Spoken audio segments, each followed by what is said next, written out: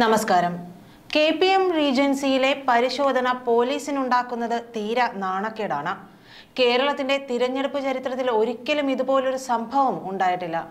അർദ്ധരാത്രിയിൽ വനിതാ പോലീസ് ഇല്ലാതെ വനിതാ നേതാക്കളുടെ മുറിയിലേക്ക് പോലീസ് ഇരച്ചു കയറുകയായിരുന്നു. കോൺഗ്രസ് വനിതാ നേതാക്കൾ താമസിക്കുന്ന മുറിയിൽ പോലീസ് അർദ്ധരാത്രി പരിശോധന നടത്തിയത് രാഷ്ട്രീയ വിവാദമായി. കള്ളപ്പണം ഒളിപ്പിച്ചെന്ന പേരിലായിരുന്നു മഫ്തി പോലീസ് ഉൾപ്പെടെയുള്ള സംഘം പരിശോധന നടത്തിയത്. തിരഞ്ഞെടുപ്പിന്റെ ഭാഗമായുള്ള പതിവ് പരിശോധനയാണെന്നാണ് എ സി പി മാധ്യമങ്ങളോട് പറഞ്ഞത്. മുറിയിലെ വസ്ത്രങ്ങൾ ഉൾപ്പെടെ സാധനങ്ങൾ വലിച്ചുവാരിയിട്ട് പരിശോധന നടത്തിയതായി കോൺഗ്രസ് നേതാക്കളായ ഷാനിമോൾ ഉസ്മാനും ബിന്ദു കൃഷ്ണയും പ്രതികരിച്ചു. രാവിലെ പതിനൊന്ന് എ സി പി ഓഫീസിലേക്ക് മാർച്ച് നടത്തുമെന്ന് കോൺഗ്രസ് അറിയിച്ചിട്ടുണ്ട്. ഈ സംഭവത്തിൽ പലവിധ ഗൂഢാലോചനകൾ കോൺഗ്രസ് സംശയിക്കുന്നുണ്ട്. വനിതാ നേതാക്കളുടെ മാനം വെച്ച് പോലീസ് കളിച്ചോ എന്നും സംശയം ശക്തമാണ്. ഓപ്പറേഷൻ മാങ്കൂട്ടത്തിൽ എന്ന രഹസ്യ പേരിലാണ് പോലീസ് ഓപ്പറേഷൻ എന്ന സൂചന. കോൺഗ്രസ് നേതാക്കളുടെ മുറിയിൽ അസ്വാഭാവിക നീക്കങ്ങളുണ്ടെന്ന് പോലീസിന് രഹസ്യ വിവരം കിട്ടുന്നു.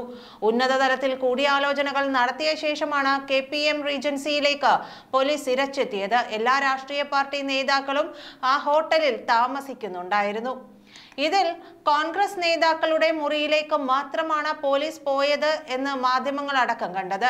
ഏഷ്യാനെറ്റ് ന്യൂസിന്റെ മാധ്യമ പ്രവർത്തകരും ഇതേ ഹോട്ടലിലായിരുന്നു താമസിച്ചിരുന്നത്. അതുകൊണ്ട് പോലീസ് നീക്കങ്ങൾ മാധ്യമ പ്രവർത്തകർക്കും കാണാനായി. പിന്നീട് സി പി എം നേതാവ് ടി വി രാജേഷിന്റെ മുറിയിലും പരിശോധിച്ചെന്ന് പോലീസ് പറയുന്നു. എന്നാൽ ഇത് ആരും കണ്ടില്ലെന്നാണ് അവിടെയുള്ളവർ പറയുന്നത്. അതിനിടെ K P M regency hotel പോലീസിൽ പരാതിയും നൽകി. അതിക്രമിച്ചു കയറി ഹോട്ടലിൽ നാശമുണ്ടാക്കി എന്നാണ് കേസ്. സ്ത്രീ എന്ന നിലയിൽ അഭിമാനത്തെ ചോദ്യം ചെയ്യുന്ന നടപടിയാണ് പോലീസിന്റെ ഭാഗത്ത് നിന്ന് ഉണ്ടായതെന്ന് കോൺഗ്രസ് നേതാവ് ഷാനിമോൾ ഉസ്മാൻ പറയുന്നു. പൊതുപ്രവർത്തക എന്ന നിലയിൽ അന്തസ്സിനുണ്ടായിരിക്കുന്ന ബുദ്ധിമുട്ടിന് രാഷ്ട്രീയ നേതൃത്വത്തെ കൊണ്ട് മറുപടി പറയിപ്പിക്കുമെന്നും അവർ പറഞ്ഞു.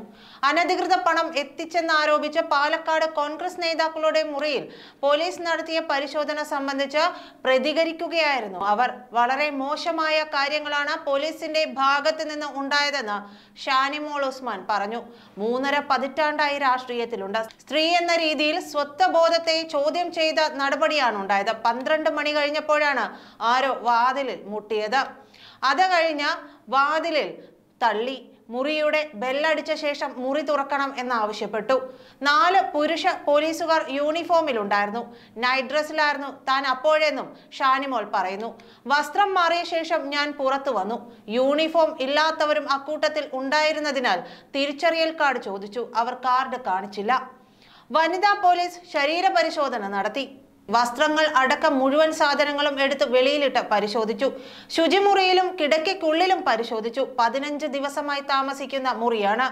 പരിശോധിച്ചതിന്റെ വിവരങ്ങൾ എഴുതി തരണമെന്ന് പറഞ്ഞെങ്കിലും വ്യക്തമായ മറുപടി ലഭിച്ചില്ലെന്നും ഷാനിമോൾ പറയുന്നു. രാത്രി പന്ത്രണ്ട് മണിക്ക് ശേഷം വാതിലിൽ മുട്ടിയ നടപടി കേരള പോലീസിന്റെ ഭാഗത്തു നിന്നുണ്ടായിട്ടുള്ളത് അത്യന്തം ഗുരുതരമായ തെറ്റ് തന്നെയാണ്. അസമയത്ത് വന്ന് മുറിയുടെ കോളിംഗ് ബെല്ലടിച്ചാൽ തുറക്കേണ്ട കാര്യമില്ല. അത്യാവശ്യമുണ്ടെങ്കിൽ റിസപ്ഷനിൽ നിന്ന് ഫോണിൽ വിളിക്കാം. അതല്ല പോലീസ് ചെയ്തതെന്നും ഷാനിമോൾ ഉസ്മാൻ പറയുന്നു. പുരുഷ പോലീസുകാരെ പറഞ്ഞു വിടുകയാണ് ചെയ്തതെന്നും പിന്നീട് വനിതാ പോലീസ് എത്തി മുറി പരിശോധിച്ചെന്നും അവർ പറഞ്ഞു. മുറി പരിശോധിച്ചെങ്കിൽ എന്ത് ലഭിച്ചുവെന്ന് രേഖാമൂലം അറിയിക്കണം. തോന്നുമ്പോൾ കയറി വന്ന് പരിശോധിക്കാനും ഇറങ്ങിപ്പോകാനും മാർക്കറ്റൊന്നുമല്ല ഇതൊന്നും ഷാനിമോൾ ഉസ്മാൻ പറഞ്ഞു. സ്ത്രീ എന്ന നിലയിൽ അഭിമാനത്തെ ചോദ്യം ചെയ്യുന്ന നിലപാടാണ് യൂണിഫോം ഇട്ടവരും ഇടാത്തവരുമായ പോലീസ് ഉദ്യോഗസ്ഥരുടെ ഭാഗത്തു നിന്നുണ്ടായത്. തിരഞ്ഞെടുപ്പ് കമ്മീഷന്റെ നിർദ്ദേശപ്രകാരമാണെങ്കിൽ ഏത് ഉദ്യോഗസ്ഥരാണ് വന്നത്? അവരുടെ തിരിച്ചറിയൽ കാർഡ് എവിടെ? അത് കാണിക്കാൻ അവർ തയ്യാറായില്ലെന്നും ഷാനിമോൾ ഉസ്മാൻ പറയുന്നു. സ്ത്രീകൾ എന്ന രീതിയിൽ വലിയ അഭിമാനക്ഷതമുണ്ടായതായി ബിന്ദു കൃഷ്ണയും പറയുന്നു. ഉറങ്ങിക്കിടന്നപ്പോൾ മുറിക്ക് പുറത്ത് പുരുഷന്മാരുടെ വലിയ ബഹളം കേട്ടു. ഉറക്കത്തിൽ നിന്ന് എണീറ്റു. ആരോ ബെല്ലടിച്ചു. വാതിൽ തുറന്നപ്പോൾ പോലീസായിരുന്നു മുറി പരിശോധിക്കണമെന്ന് പറഞ്ഞു. ഞാനും ഭർത്താവുമാണ് മുറിയിൽ ഉണ്ടായിരുന്നത് പോലീസ് മുറിയിലേക്ക് ഇരച്ചു കയറി. നാല് പെട്ടി മുറിയിലുണ്ടായിരുന്നു. വസ്ത്രം മുഴുവൻ വലിച്ചു പുറത്തിട്ടു. എല്ലാം പരിശോധിക്കാൻ ഞാൻ പറഞ്ഞു. പരിശോധന കഴിഞ്ഞപ്പോൾ ഒന്നും കിട്ടിയിട്ടില്ല എന്ന് എഴുതി തരാൻ പറഞ്ഞു. വലിയ ഗൂഢാലോചന നടന്നിട്ടുണ്ട്. അങ്ങേയറ്റം നീതി നിഷേധമാണ് ഉണ്ടായതെന്നും ബിന്ദു കൃഷ്ണയും പ്രതികരിച്ചു. നന്ദി.